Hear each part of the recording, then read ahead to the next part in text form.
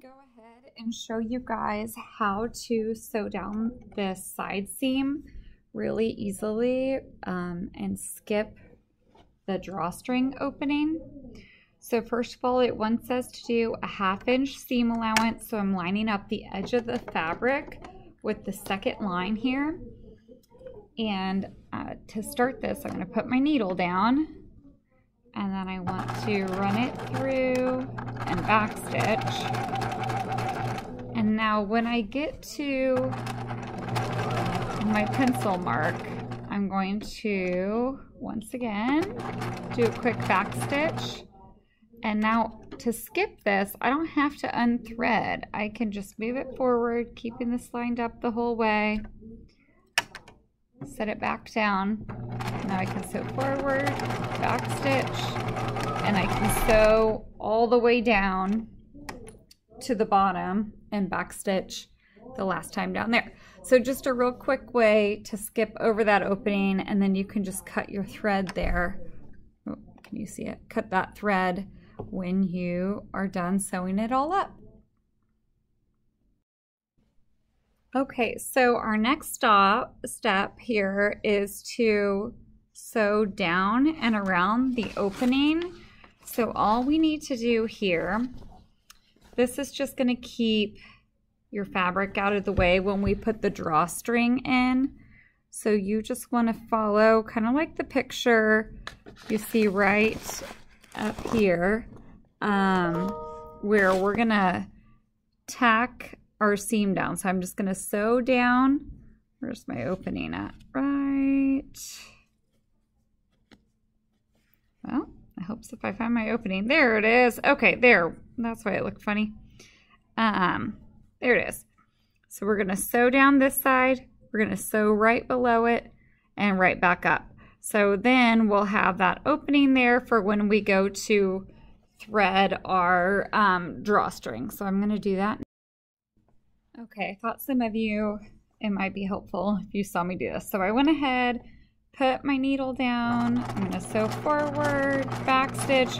I'm not really doing any particular seam allowance. I'm kind of following the inside toe of the presser foot on the side here.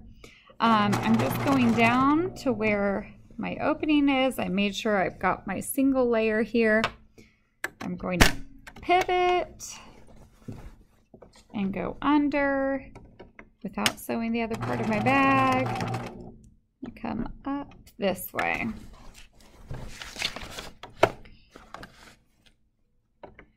So not much to it, but this is going to keep all that fabric out of the way and you will appreciate this step when you go to do your drawstring. So now we can just clip off the thread there and do the other side.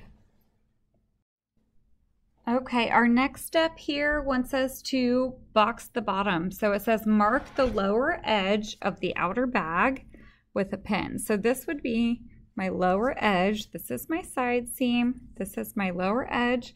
So I'm just going to take a pin and mark it. Sometimes you could just crease it. Mm-hmm. Yeah, that works too. But the reason we're marking it is so that we can line up the very bottom edge with the center of our side seam because see it says with right sides together match the side seam to this point. So this is my side seam. I'm going to match this to this. So I'm going to do that by opening and folding it this way. And then you can just pin this opening or pin your seam open here for this step might be easier if I hold it this way for you to see.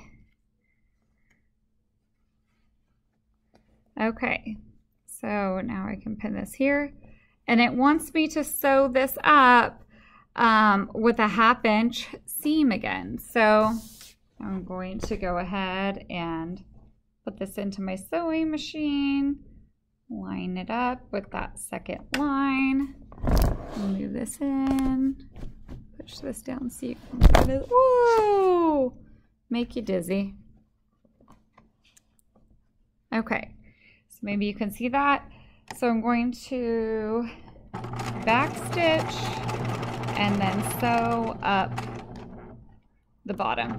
So I'll do this to both sides. Oh, I wanted to open this up as I got to it. So open that up.